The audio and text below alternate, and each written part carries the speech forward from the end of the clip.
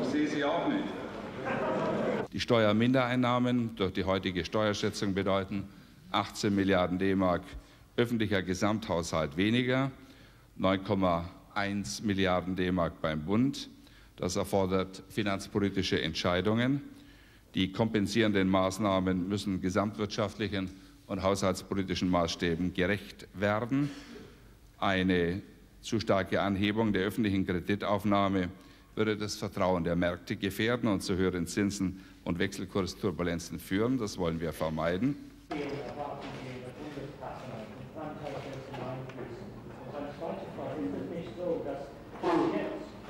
Es geht nicht darum, das will ich in aller Klarheit sagen, dass wir an den Verkauf von Gold oder Devisen, Beständen und Reserven denken.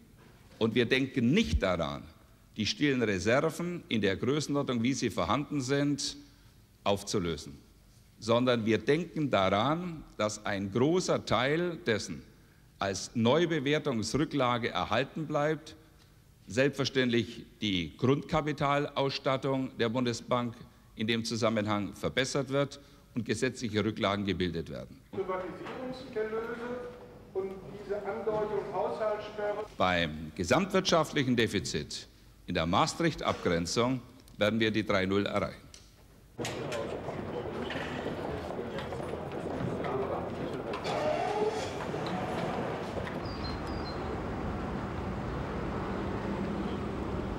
Im Interesse der Bekämpfung der Arbeitslosigkeit und wir als FDP werden daran festhalten. Wir müssen die Steuerschraube lockern, die die Konjunktur abwirkt, damit sich die Wirtschaft wieder belebt und mehr Menschen wieder Arbeit finden. Wer keine Arbeit hat, kann auch keine Steuern zahlen. Bevor diese Gremien getagt haben, kann ich nicht ins Detail gehen. Kann es sein, dass Sie... Vielen Dank, Dankeschön.